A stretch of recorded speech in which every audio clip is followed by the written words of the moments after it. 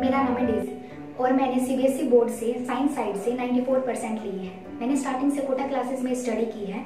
Chemistry में मेरे marks है 94 फिजिक्स में मेरे मार्क्स है 94 बायोलॉजी में मेरे मार्क्स है 95 म्यूज़िक में मेरे मार्क्स है 100 और इंग्लिश में मेरे मार्क्स है 85 special thanks to Preeti ma'am क्योंकि उन्होंने हमारी बायोलॉजी बहुत अच्छी बना दी और हर वे में हमारा साथ दिया। देन झा सर जिन्होंने हर फिजिक्स के हर फॉर्मूले हमें अच्छे से करवाए, हर चैप्टर अच्छे से करवाए, जिसकी वजह से हमने इतने मार्क्स स्कोर कर पाए।